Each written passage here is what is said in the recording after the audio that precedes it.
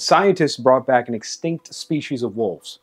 Or did they? You've probably seen the headline, dire wolves brought back from extinction.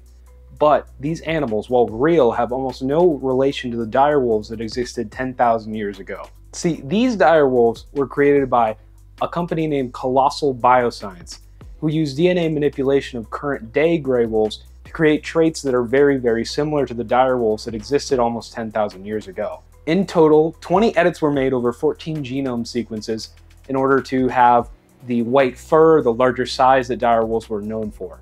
Five of these edits were alone just for the white fur. The funny thing, gray wolves almost have no relation to dire wolves, meaning this species is more of a new species reminiscent of a still extinct dire wolf. It'd be like taking a chicken, giving it dry skin, and then calling it a velociraptor. However, this is a big win for the scientific community as it means things like restoring ecosystems, designing new species with resistances to diseases, and testing extinct traits. However, the current media hype that's surrounding this is sort of misleading people into believing that what actually happened was